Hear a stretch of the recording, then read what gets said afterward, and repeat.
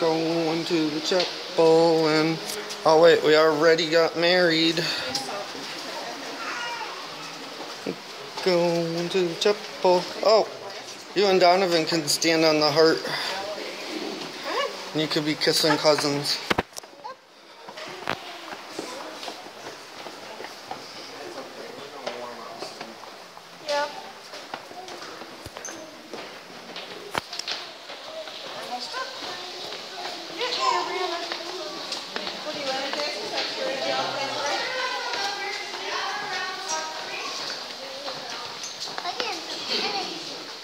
Yeah, it's like carried you. Yeah, don't know we have energy. You carried him all the way down through.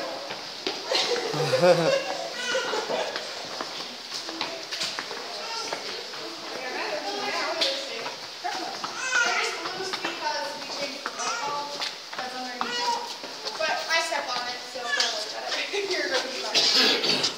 There's our heart. Oops. If you stay on the heart, you get married.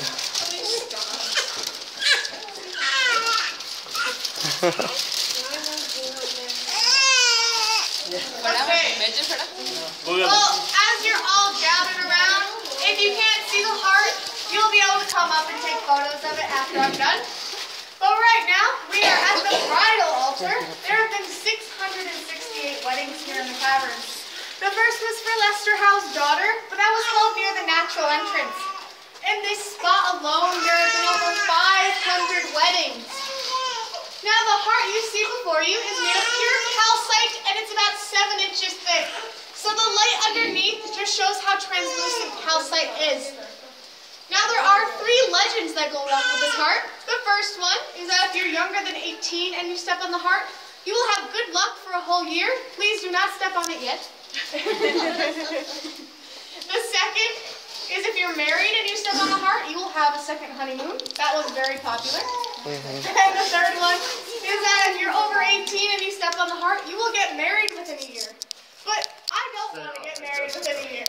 so I'm just going to avoid this heart as much as I can. And then the rest of you are welcome to step on it, take photos, and then I will meet you right over there. So don't be